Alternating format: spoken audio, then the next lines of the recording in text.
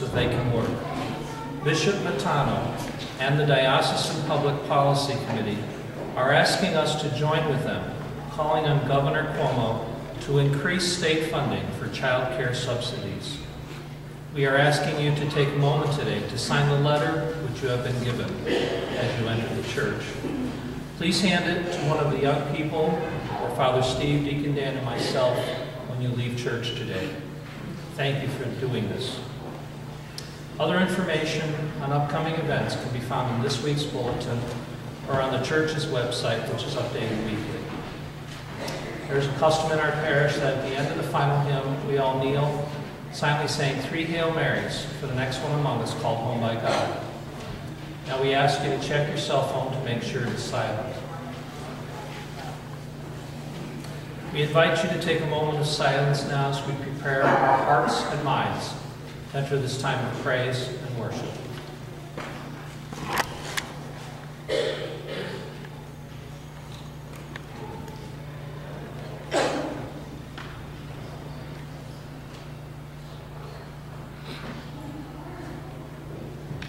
My brothers and sisters, the Lord has done great things for us. As we begin our celebration today, let us allow this refrain from today's psalm to resound in our hearts and fill us with joy.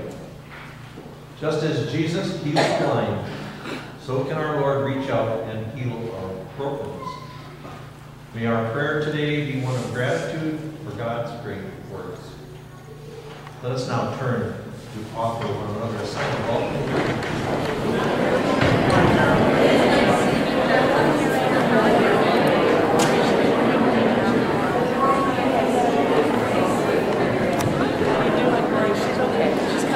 Slow and steady. Slow and steady. May we begin our celebration this morning with the opening hymn, Sing Out Earth and Skies, number 499 in the green gather book. Number 499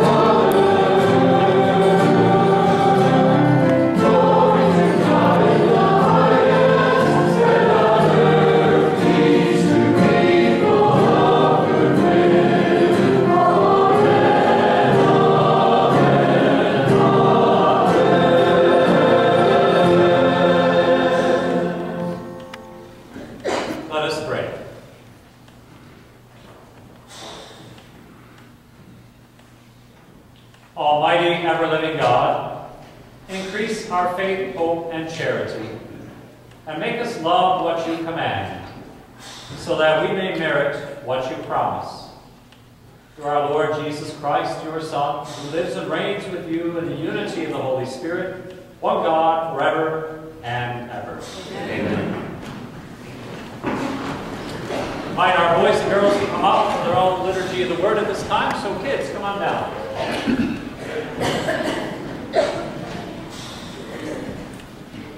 We ask you to assemble right here.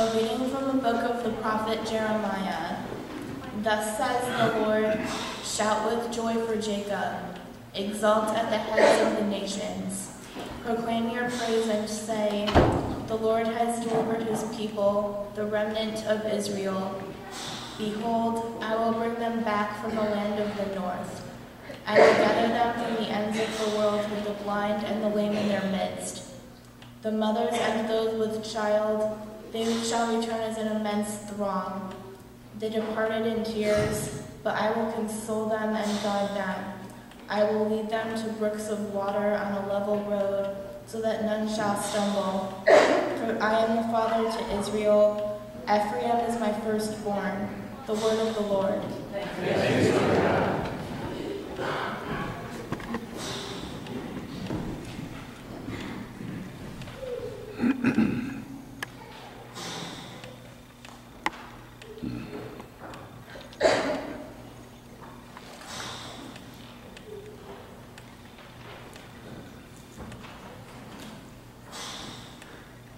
Psalm this morning is number 126. God has done great things for us. Page 127.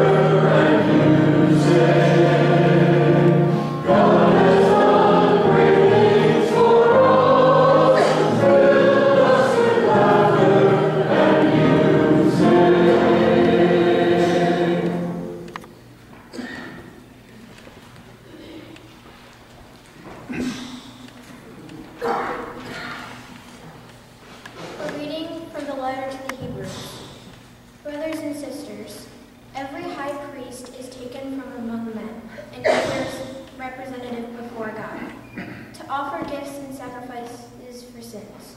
He is able to deal patiently with the ignorant error, for he himself is beset by weakness. And so, for this reason, must make sin offerings for himself as well as for other people.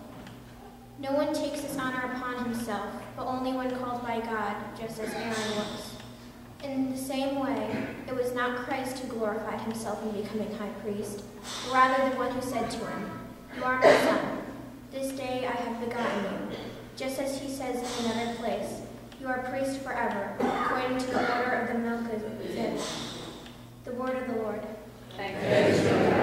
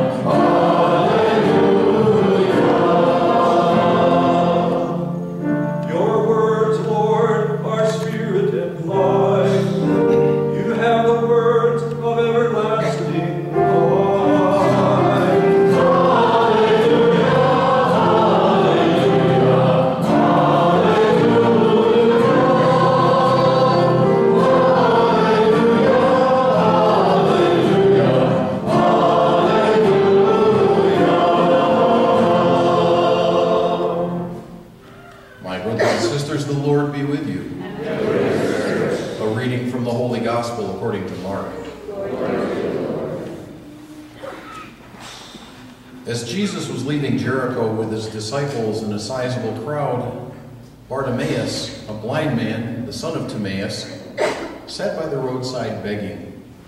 On hearing that it was Jesus of Nazareth, he began to cry out and say, Jesus, son of David, have pity on me. And many rebuked him, telling him to be silent. He kept calling out all the more, Son of David, have pity on me. Jesus stopped and said, Call him. So they called the blind man, saying to him, Take courage, get up. Jesus is calling you. He threw aside his cloak, sprang up, and came to Jesus. Jesus said to him in reply, What do you want me to do for you? The blind man replied to him, Master, I want to see. Jesus told him, Go your way. Your faith has saved you. Immediately he received his sight and followed him on the way. The Gospel of the Lord.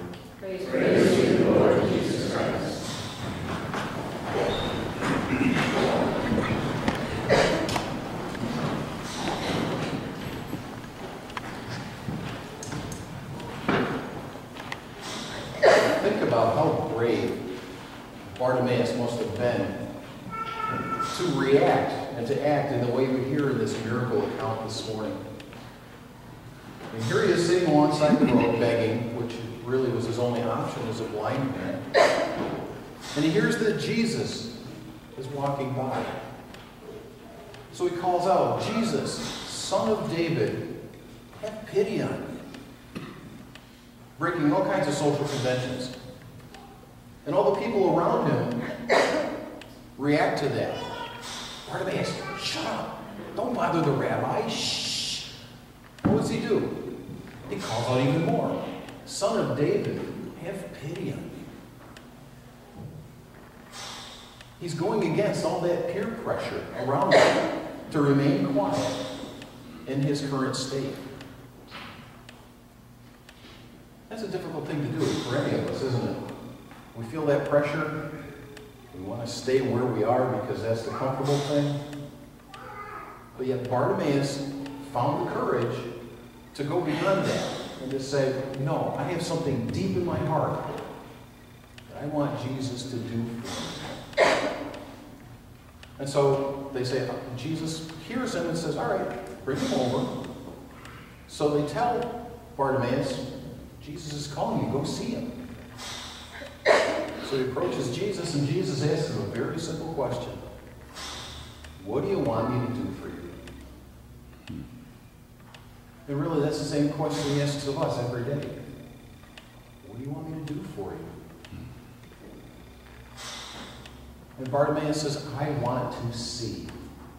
Now, there are other translations that say, I want to regain my sight. So we don't know if Bartimaeus is one of those who was born blind or lost his sight somewhere along the way.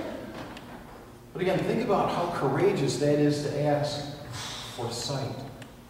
Especially if you've been blind for any amount of time, things change. People around you will look different than they did when you lost your sight. You yourself will look different. Your reflection will not be what you expect. All the settings around you may have changed.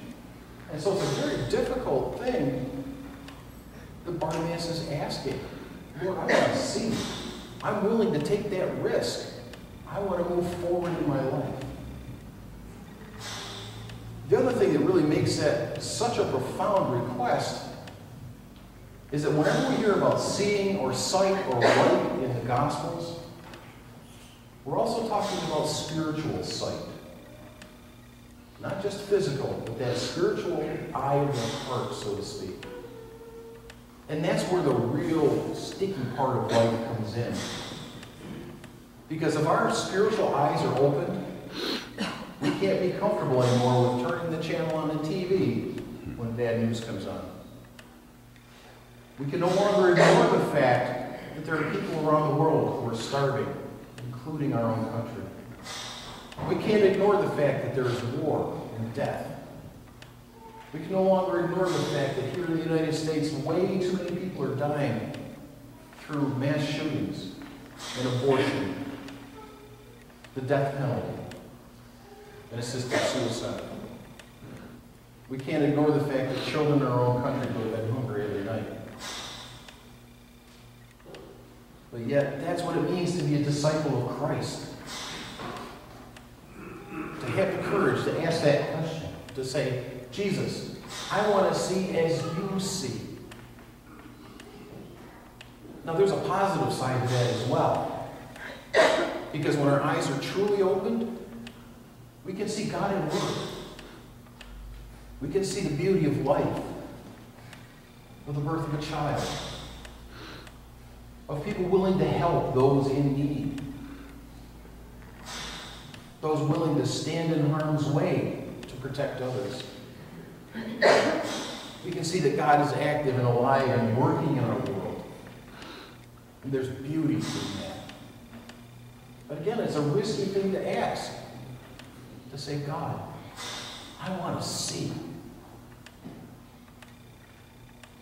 Something interesting in this gospel as well is the name of the man who is blind, Bartimaeus. And it says right in the scripture, that means the son of Timaeus. So Mark, the author of the gospel, really doesn't identify who this person is.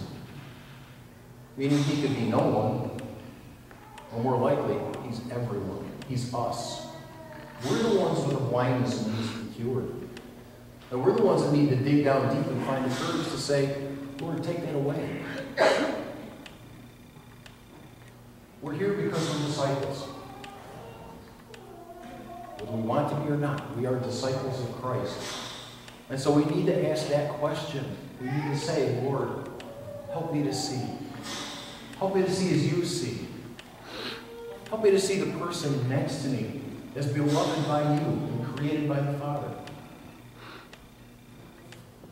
And there's one other part of this gospel that I really want to touch on, especially since today is World Youth Sunday. Now, admittedly, I still don't know what I want to be when I grow up. But there's a phrase in here. Take courage. Get up. Jesus is calling you. And I want to address this to our youth especially. I mean, God calls all of us every day. But a lot of us have already made most of our life choices, and our path is somewhat set. But to you, the youth, everything is open. Everything's a possibility. And so we need, we need you to be listening for God's call. To hear what it is God wants you to do with your life. Whether it be married life, single life, ordained, a life of service, a particular job, whatever it is. We need you to listen and hear God call you to whatever it is that He has planned for you. Because by listening to that call and answering, you're going to make us a better people. We're going to be stronger as a church, as a nation, as a world. Because you've heard God and you've answered the way that He wants you to answer. But again, like I say, that's true for all of us. Every day, God looks at us and says, I have something I want you to do for me today. But if we're not listening, we're not going to hear that. And so we need to carve out a little piece of our day every day to be silent, to pray, to listen for an answer. This sounds like a very daunting task to hear God and to answer his call. Just remember what it said. Take courage. Get up. Jesus is calling.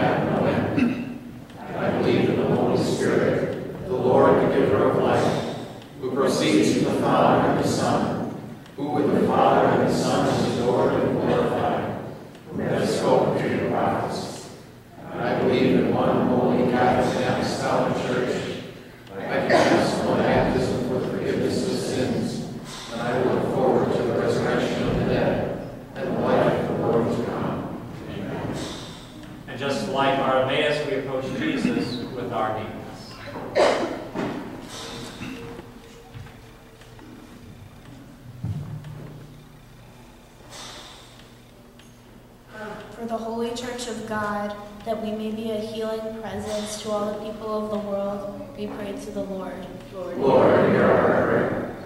That all nations set aside their weapons and embrace the causes of peace and justice, we pray to the Lord. Lord, hear our prayer. For doctors, nurses, counselors, and all who work in the healing professions, and for all who work to develop new treatments and cures, we pray to the Lord. Lord, hear our prayer. For our parish community, as we reach out to those around us, seeking to share our faith and the good news of Jesus Christ, we pray to the Lord. Lord, hear our prayer. All priests, as they seek to emulate the selfless love of our great high priest, Jesus Christ, we pray to the Lord. Lord, hear our prayer. For those who are ill in body, mind, and spirit, our friends, family, and in our community, especially Charlene Vallon, Louise Barton, Karen Murdoch, Michelle Bouvia, Cindy Olet, and all the names listed in the bulletin and in our prayer book of requests, that they receive healing and peace, we pray to the Lord. Lord. For the faithful departed whose lifelong vigil for the Lord has ended, especially Kathy Burns, Christina Peters, and Louise James, that all will share in the joy of the eternal banquet, and for the youth of our parish, for whom this Mass is offered, we pray to the Lord. Lord for the intentions spoken in our hearts, and the those in need around us. We pray to the Lord. Lord Heavenly Father, we thank you for sending us Jesus Christ, your only Son, the Savior of the world. Help us always to grow in love and service to one another grant all these prayers through Christ our Lord. Amen.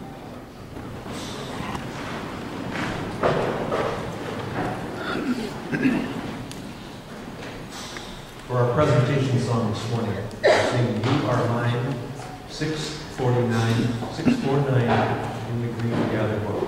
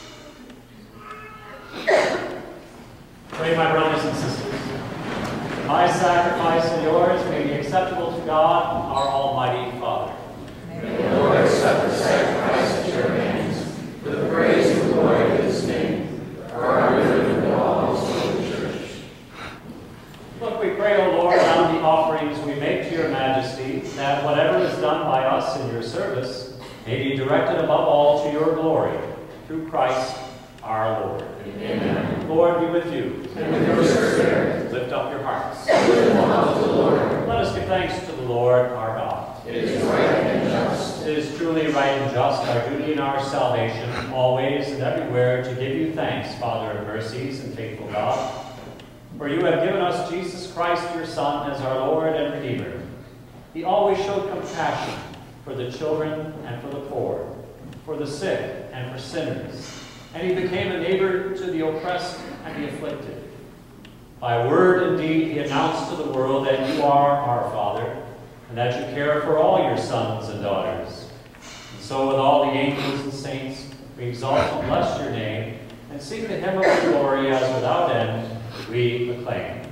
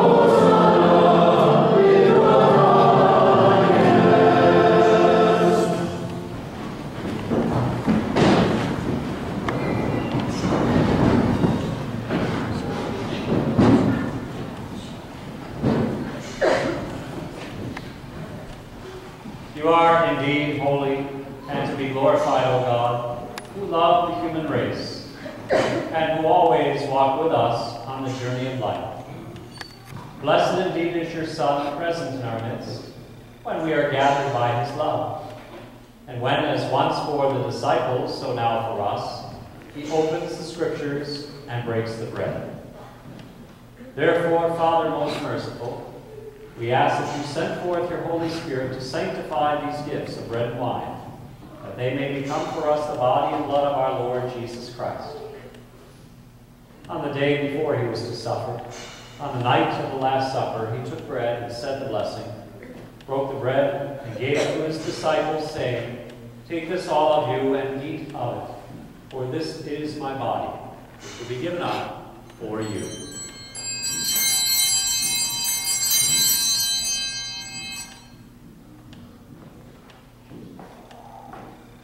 In a similar way, when supper was ended, he took the chalice, gave you thanks, and gave the chalice to his disciples, saying, Take this, all of you, and drink from it. For this is the chalice of my blood, blood of the new and eternal covenant, which will be poured out for you and for many for the forgiveness of sins. Do this in memory of me.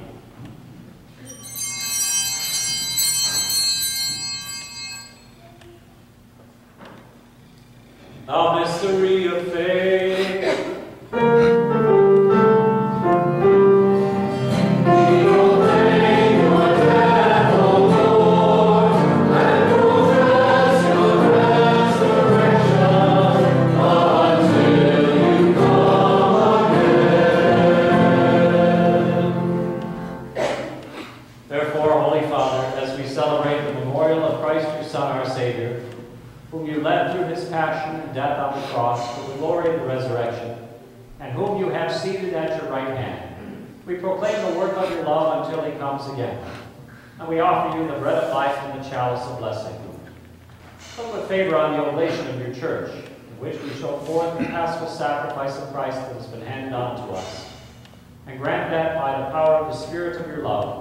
We may be counted now and until the day of eternity among the members of your Son, in whose body and blood we have communion. Bring your church, O Lord, to perfect faith and charity, together with Francis our Pope and Salvatore our Bishop, with all bishops, priests, and deacons, and the entire people you have made your own. Open our eyes to the needs of our brothers and sisters, Inspire in us words and actions to comfort those who labor and are burdened. Make us serve them truly after the example of Christ and at his command. And may your church stand as a living witness to truth and freedom, peace and justice, that all people may be raised up to a new hope. Remember our brothers and sisters who have fallen asleep in the peace of your Christ, and all the dead whose faith you alone have known. Admit them to rejoice in the light of your face, and in the resurrection give them the fullness of life. Grant also to us when our earthly pilgrimage is done, that we may come to an eternal dwelling place and live with you forever. There in communion with the Blessed Virgin Mary, Mother of God, and St. Joseph, her spouse, with the apostles and martyrs, and with all the saints, we shall praise and exalt you through Jesus Christ, your Son. Through him and with him and in him,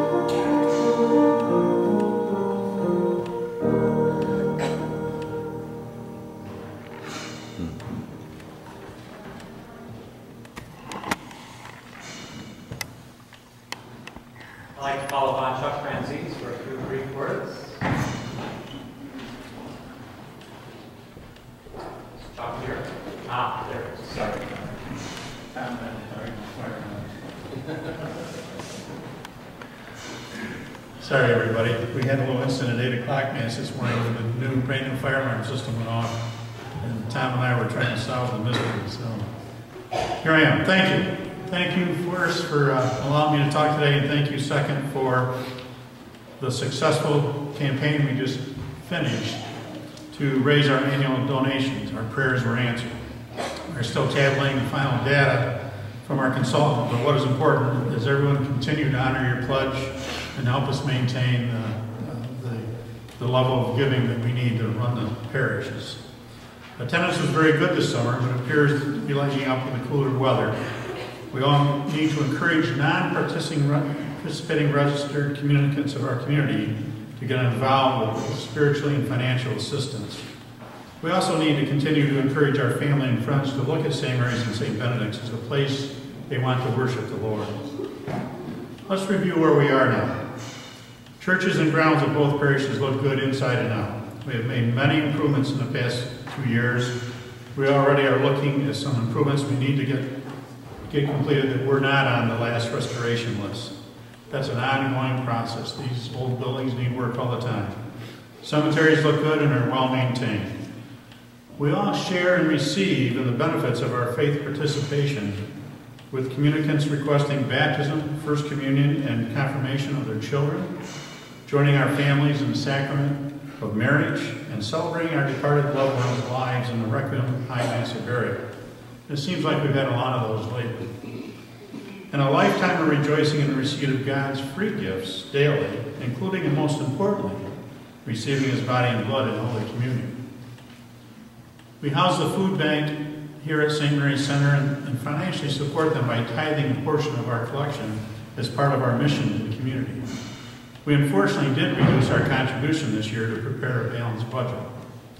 Both parishes have volunteers and do modest fundraising. Of course, we only have one major fundraiser left here at St. Mary's, and that's our bazaar coming up on November 14th. If you have any ideas for new fundraisers or want to reinstate the cake booth at the Italian American Festival, please call the office. We are blessed, though. We, we have modest capital reserves and savings in both churches.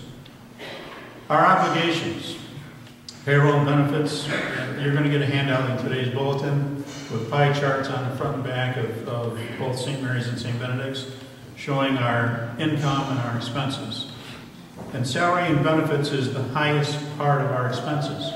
But it's all relative. We have a basically a small business, and a small business that doesn't make widgets, that doesn't have machinery and, and materials to buy, your biggest expense is your salary and benefits. We only have six people employed at the church, both full and part-time. We've made cutbacks in some of the staffing, and I, I personally don't believe we're over uh, hiring to get the work done that we need to do here in, in, the, in our mission. Utilities, we just completed work on our boilers and electrical system, including new lighting, to decrease our uh, routine costs. Building maintenance and insurance on properties, staff is constantly looking at ways to generate savings and, and uh, joint purchases, deductibles, etc., to help save money for the church. The diocesan mandates and requests. Those are important to the goals of our Holy Father, Bishop Matano, to bring God's word to the diocese and people all around the world. Catholic. It is our main source of communication with the diocese and beyond. Parish subsidy for Catholic schools and poor parish building funds. It's our Christian mission. There's a handout in today's bulletin showing how we did this past fiscal year, which I referred to a minute ago. I'm not going to go through the budget numbers except to say the new fiscal year budget shows significant efforts to save money by reducing our anticipated expenses. In this day and age, when municipalities have a tax cap set by the governor, we're showing a reduced budget next year. We're not doing a 2% increase, we're doing a 2% decrease. Further, how grateful Father Steve and the community's finance council is that you responded so positively to the annual donation campaign led by Caneen, which I started off my remarks with. I'll brief- briefly review the major statistics. The results of the campaign of St. Benedict's increased pledge donations by 13.5%, which is about $127 a week. St. Mary's has a 40% pledged increase, with donations increasing about $1,700 per weekend. This is amazing, and we thank you and we encourage you to continue with your, with your pledge. The increases will help us overcome last year's deficit in collections through June 30th of 15, which resulted in a deficit of $103,600 in St. Mary's and over $12,000 at St. Benedict's. Most concerning, as I mentioned before, is our mass attendance numbers have decreased overall, although our summers still look good. Staff saved over $30,000 in budgeted expenses last year to help us deal with the deficits. And our proposed budget this year is over $31,000 less than last year's budget. It's important we do not use our reserves for routine budget expenses. If we do, one day, we will not have these funds for a rainy day or a boiler that blows up or whatever we have. It's important that we not pay routine expenses out of our reserves. We are in the middle of the Catholic Ministries Appeal, the CMA. This is another obligation of the Schuyler Catholic community. When we get the notice of what our goals are from the diocese, St. Mary's and St. Benedict's pay those goals whether we receive the pledges and donations from the communicants or not. So please be as generous as you can and help Father make his commitment to match our uh, donations and make sure we get deep in his pockets.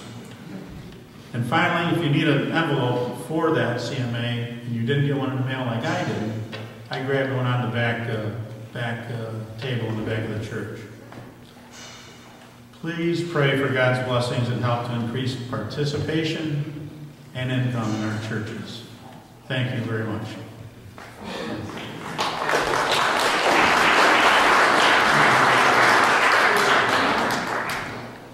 Thank you. Let us pray.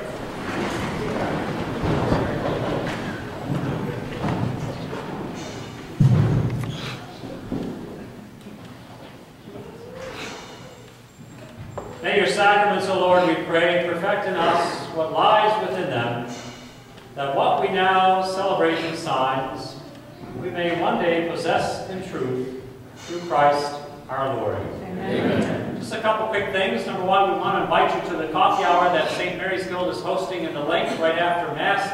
And I understand they're selling raffle tickets for some prizes that they have. So feel free to get some raffle tickets.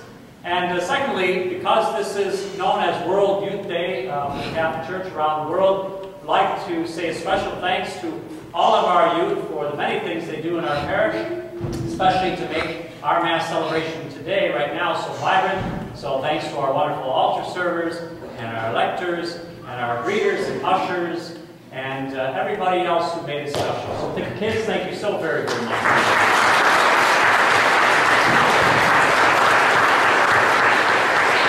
And the Lord be with you. And with your spirit. May Almighty God bless you, the Father, the Son, and the Holy Spirit. Go and announce the gospel of the Lord. Have a terrific week. And by the way, go New York Mets. Our closing hymn this morning is Canticle of the Turning, uh, number 556 in the Green Gallery.